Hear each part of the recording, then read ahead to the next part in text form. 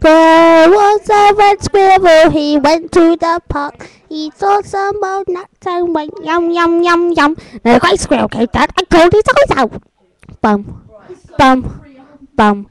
There was a girlfriend squirrel who went to the park. He saw the dead boyfriend and went ah. Then the white squirrel came down and pulled his eyes out. Bum, bum, bum. Then that day the police parchment came.